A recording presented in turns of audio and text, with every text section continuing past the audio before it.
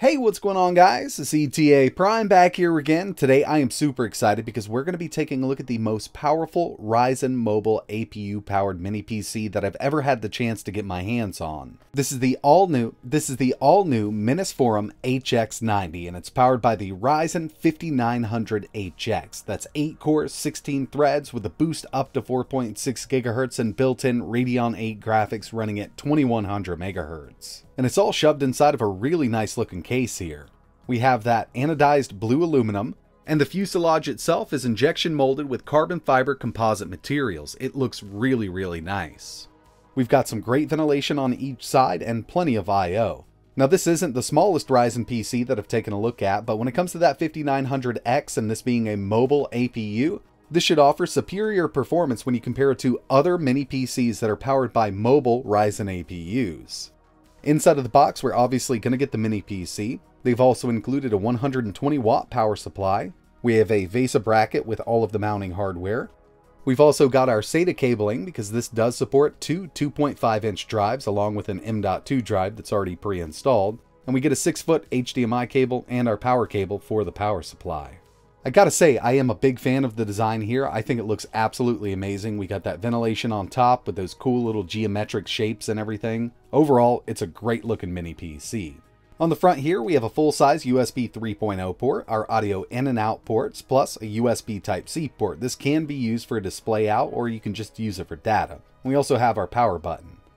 Round back, we have two full-size display ports, two HDMI ports, some more audio in and out, a 2.5 gigabit Ethernet port, and four more USB 3.0 ports.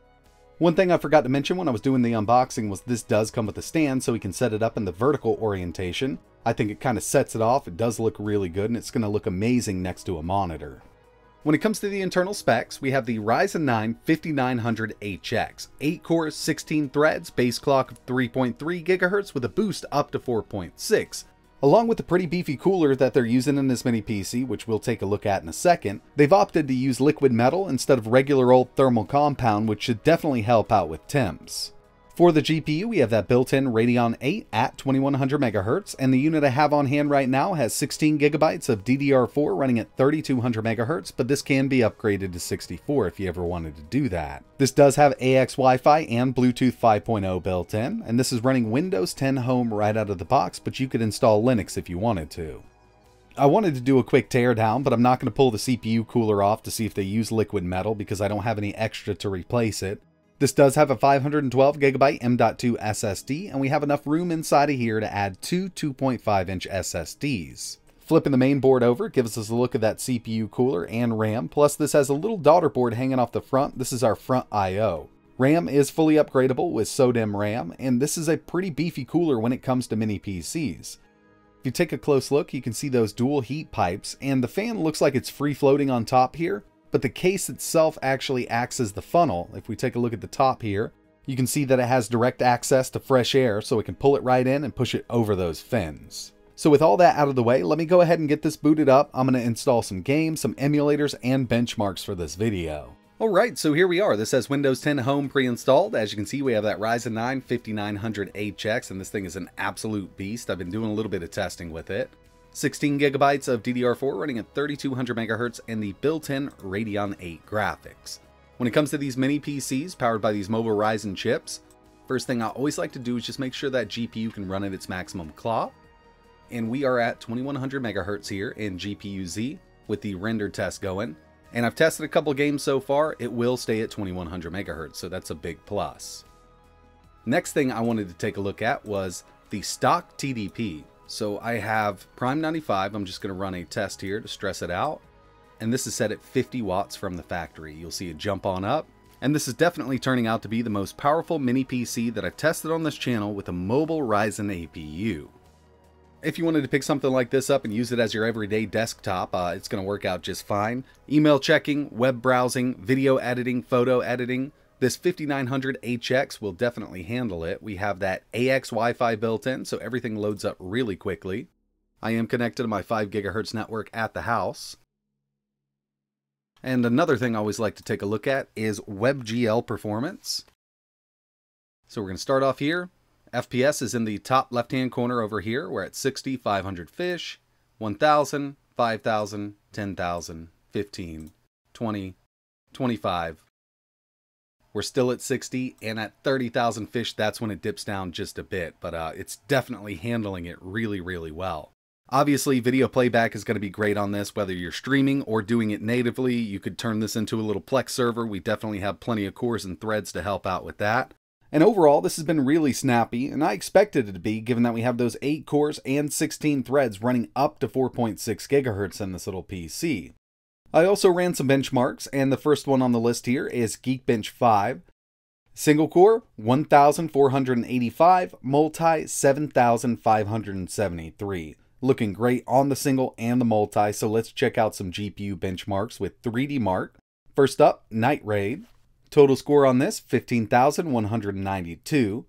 Firestrike gave us a 3,490. And finally, Time Spy with a 1,338. So these scores aren't bad at all for a mobile chip with integrated graphics, but we kind of need to see how this thing really handles gaming. So first up, here's Genshin Impact, 1080p, medium settings. We're running at 60. I did see it dip down uh, once there was a lot of particles on screen. It went down to around 58, but overall it's holding pretty strong at 60, and this is playable.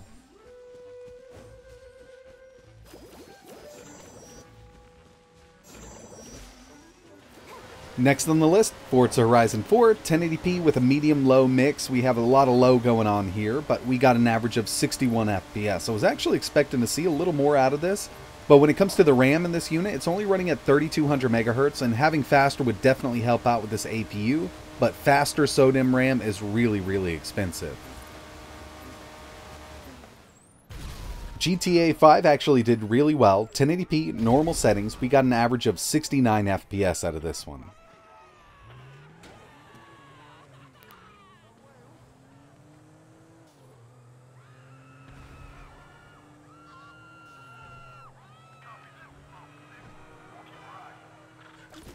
Here's Borderlands 3, 1080p low settings. We got an average of 64 FPS, but I did see it drop below 60, especially when uh, some explosions were going on. But overall, I mean, it's actually looking pretty decent. And if you drop this down to 900p, I'm sure you could eliminate all of those drops under 60.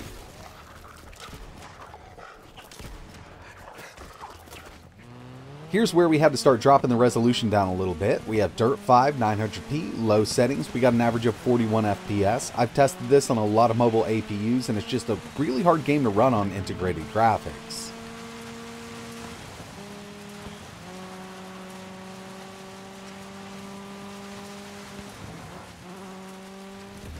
Here's Doom Eternal, 900p, low, average of 40. Now, I do have the resolution scale set to off, so we're at 100% resolution scale. And dropping that down a little bit would help out a lot, but running this at 720p low would net you around 63 average.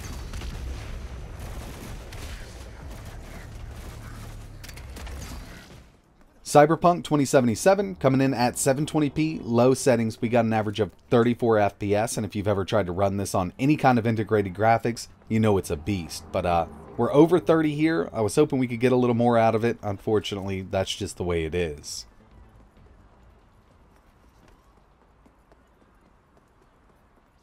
And finally, we have Control, 720p low. We only averaged 34 out of this one. Now, if you wanted to lock it at half VSync at 30 FPS, you should be good to go.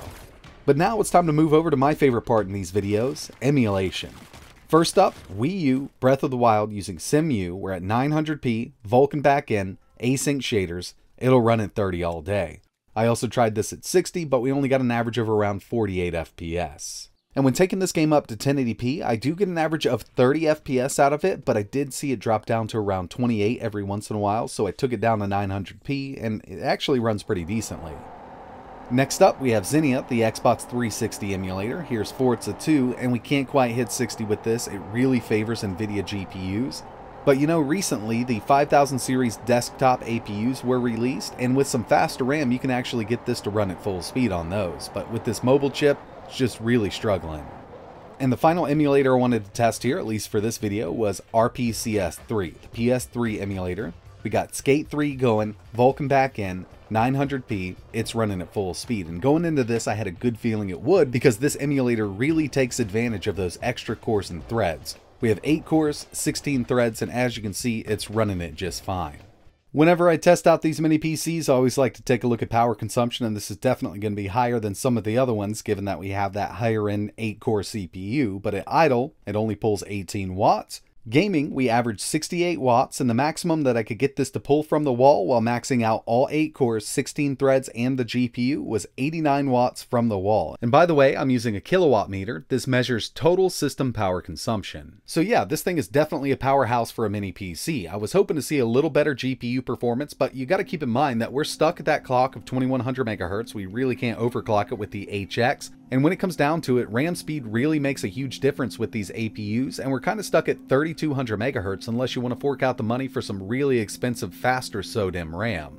But all in all, this is the most powerful mini PC that I've tested on my channel that includes a mobile Ryzen APU. I've tested out more powerful mini PCs that I've personally built, but those are using desktop variants. So if you're looking for a high performance mini PC and the apps that you tend to use can actually take advantage of those 8 cores and 16 threads, then I can highly recommend the Menace Minisforum HX90. Now there is one more video that I want to do on this. I'm going to add an external GPU over that M.2 slot, so I'll be running my operating system and everything from a 2.5 inch drive. But I got a really good feeling that if I pair this up with a GTX 1660 or something even higher end than that, we're going to see amazing performance because on the CPU side of things, we have plenty for anything we want to run, it really comes down to that built-in Radeon graphics that's kind of holding us back in gaming. That video will be coming soon, so definitely keep an eye on the channel. But uh, if you're interested in learning more about this, I will leave a few links in the description. And if there's anything else you want to see running on the Menace Minisforum HX90, just let me know in the comments below. But that's going to wrap it up for this one. And like always,